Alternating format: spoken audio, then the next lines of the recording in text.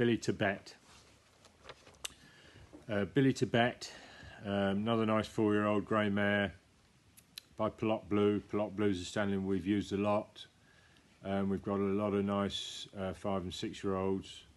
We've sold on, you know, a lot of nice ones. You know, he started to prove himself as a stallion um, because he largely finished his career. You know, Plot Blue as a Grand Prix show jumper was on the uh, you know Olympics, Europeans proved himself to be a great show jumper, and now he's proven himself to be a great sire.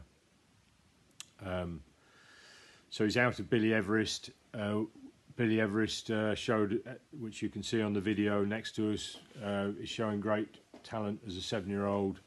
She looked fantastic when we loose jumped as a three-year-old, so we decided um, we tend to pick the best and the and the you know rangiest three-year-old mares and put them in foal. Uh, so she was, showed a lot of talent when we brought her in and jumped her, so we decided to put her in foal. To uh, Plot Blue and Tibet has been is the uh, obviously uh, the offspring of that, and she is she's a lovely mare. Um, really nice mover, really light on her feet, nice mouth. Most of the uh, Plot Blues have got a really nice temperament, um, and the more she jumps, the you know the, the more talent she's showing jumping. Um, so I'm sure she's going to jump on to be at least a 140 horse, um, in my opinion.